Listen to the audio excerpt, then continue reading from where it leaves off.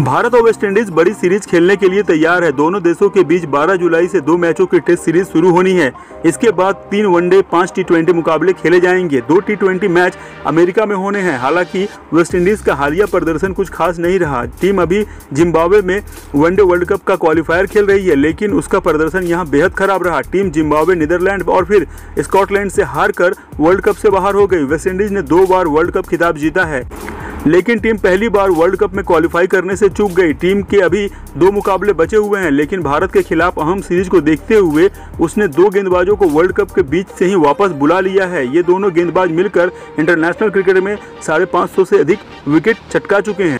Cricket West Indies ने तेज गेंदबाज Alzarri Joseph और ऑलराउंडर को वापस बुलाने का फैसला किया। वेस्टइंडीज के चीफ सेलेक्टर डेसमंड हैंस ने बताया कि जेसन होल्डर और अलजारी जोसफ हमारे मुख्य गेंदबाजों में से एक हैं और वे तीनों फॉर्मेट में खेलते हैं। उन्होंने बताया कि हमने जिम्बाब्वे में टीम मैनेजमेंट से बात की और तय किया कि ये तीन खिलाड़ी वापस बुलाए जाएँगे। सेलेक्टर्स ने अब तक इनकी जगह पर किसी रिप्लेसमेंट की घोषणा नहीं की। टीम क्वालिफायर के एक मैच में आज ओमान से मुकाबला खेल रही है। दोनों ही टीमें वैसे बाहर हो चुकी है।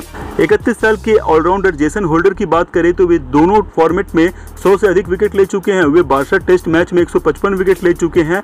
बयालीस रन देकर छह उनका बेहतरीन प्रदर्शन है। आठ बार पाँच और एक बार दस विकेट लिया है। उन्होंने तीन शतक और बारह अर्धशतक के सहारे दो हज़ार सात सौ चौवालीस से अधिक रन भी बनाए हैं। वहीं होल्डर ने एक वनडे में एक सौ उनसठ विकेट तो टी ट्वेंटी में तिरपन विकेट अपने नाम किए हैं। वे वनडे में दो हज़ार दो सौ सैंतीस तो टी में तीन रन बना चुके हैं।